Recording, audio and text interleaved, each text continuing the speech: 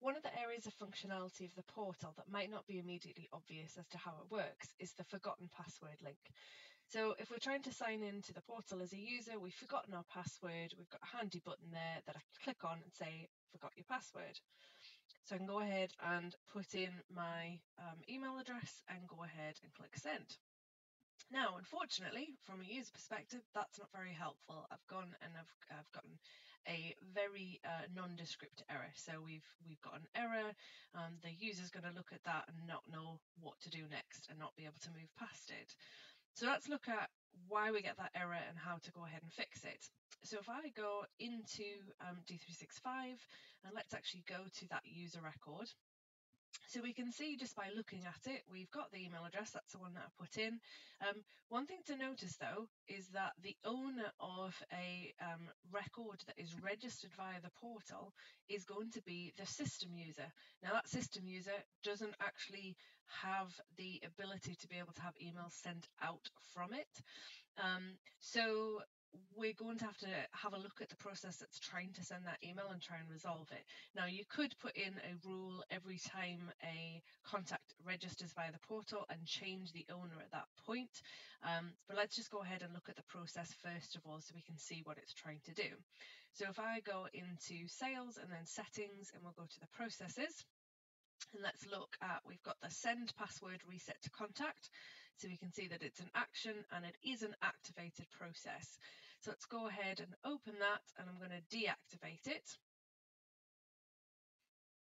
So once we've deactivated it, we're going to be able to have a look. We can see there's the process arguments It's basically allowing the email that is trying to be sent um, to pull the URL that's needed so that when they get the email, it's got your specific portal's URL included in that, so we'll actually take them to the correct place.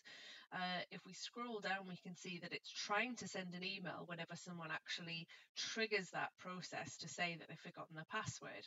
So if I um, open up the email, here's the problem. We can see that the from is set to the owner of the contact. So again, the owner of a contact that registers via the portal is going to be set as the system user. So I'm going to change that and I've actually got a queue. Nope. So do not um, reply. So that's actually the queue that I want to send the email to. You can then come in here and you could modify this. So if you wanted to paste an, um, an image, you wanted to change the verbiage of this and, and, and everything, you could. You just don't want to be editing this area or this area, otherwise that will cause it to break um, potentially and you don't want to do that. So we've just changed the from. I'm going to go ahead and click save and close. And we're going to go ahead and activate that again. So we'll just complete that. So we activated the process. So let me go ahead and close that. So I'll go back to the portal.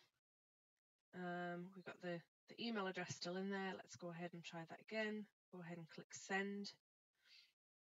Perfect. So now it's actually telling them to check their email to go ahead and reset the password. So immediately by changing um, that from email address, and we're saying that that's going from either a specific user um, or that is going from a queue.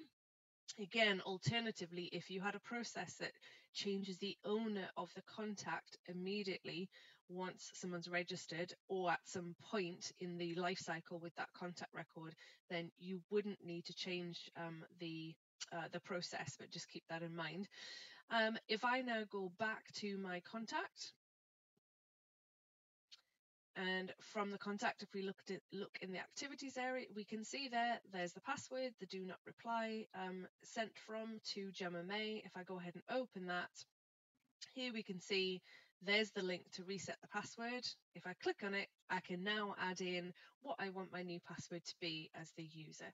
So just something to keep in mind of um, that if that's not something that you've ever tested as part of the, the um, portal setup that you've done, you might just want to go ahead and check that and either make sure you've got a process to change the user of the contact or just go ahead and edit that, um, that process to send that email out to the contact so that it's not trying to be sent from the owner of the contact who could potentially be the system user.